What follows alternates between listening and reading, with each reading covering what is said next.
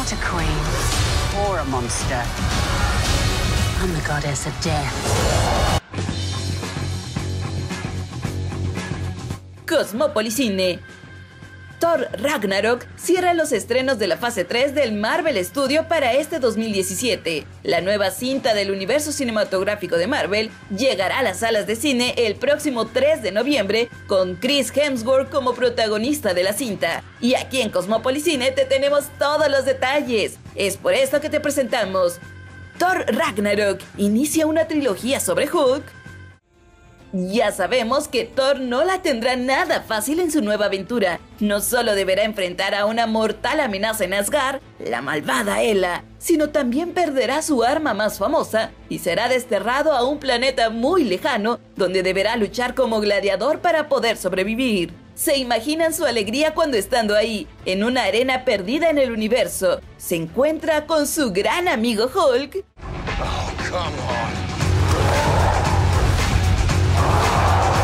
Somos amigos del trabajo, grita Thor encantado. Pero, ¿lo reconocerá este gigante? Recordemos que Hulk desapareció después del final de Avengers, la era de Ultron, y volverá a emerger en esta nueva aventura de Thor como el gladiador campeón en el planeta de Sakaar. Por los avances, podemos concluir que se unirá a Thor para salvar a Asgard, no sin antes darle una buena paliza al dios del trueno. Sin duda el estudio ha sido súper inteligente al crear una gran expectativa alrededor de la película con su gran campaña publicitaria.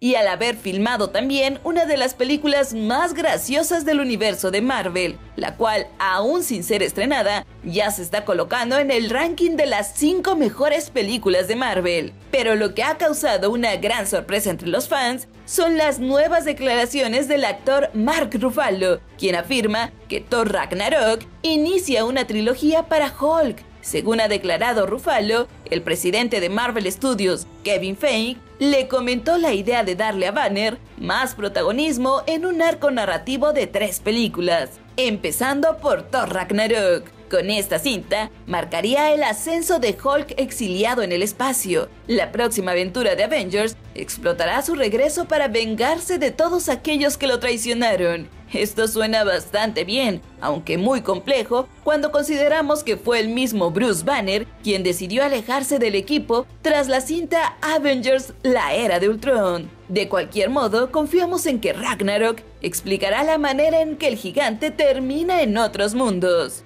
Finalmente, será interesante descubrir cómo evoluciona Hulk en Avengers Infinity War, una película que parecía destinada a concentrarse en la alianza con Thanos y que ahora luce determinante para el héroe Esmeralda. Al menos ahora tenemos una certeza, el guerrero vivirá hasta Avengers 4. Ya para terminar, y como dato súper curioso, el actor Mark Ruffalo ha pirateado por error una parte del film de Taika Waititi, así como lo oyes. Accidentalmente transmitió una porción de Thor Ragnarok ayer por la noche, cuando tuvo lugar en Los Ángeles la premier mundial de la cinta, durante la cual Mark Ruffalo emitió un streaming a través de Instagram, pero se le olvidó terminar el enlace en vivo, dejando inadvertidamente que el audio de la película de superhéroes continuara escuchándose en el evento. El actor decidió apuntar su teléfono a la audiencia para captar el momento, pero al final puso su teléfono en su bolsillo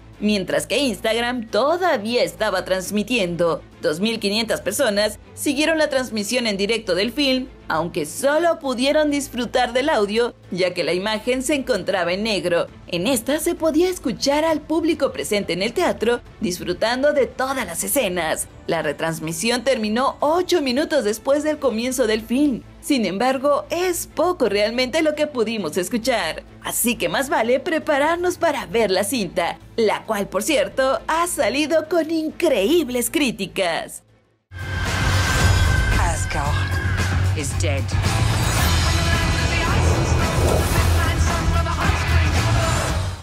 Como siempre esperamos que este video te haya gustado, le des manita arriba y lo compartas en todas sus redes sociales. Y si aún no te has suscrito a este canal, ¿qué estás esperando? Recuerda que aquí te mostraremos lo mejor de tus películas favoritas. Mandamos cariñosos saludos a Israel Santiburoncín, Santiago González, Kevin Oviedo, Alexandra Jiménez Cruz Dávila, Christopher Martínez, Mayra Vega, besitos para ti hasta Honduras, Dariana Tejada Polanco, saludos hasta República Dominicana, Miriam Cobo, Invasión Anime, Leomari Hernández, saludos a la gente hermosa de México, Yaso 2921 y en especial a Lule. Gracias por ser la primera persona en comentar el video llamado Superman regresa en el nuevo tráiler de la Liga de la Justicia. Y recuerda, yo soy Maffer y nos vemos en el próximo video. Si no es que antes nos vamos al cine.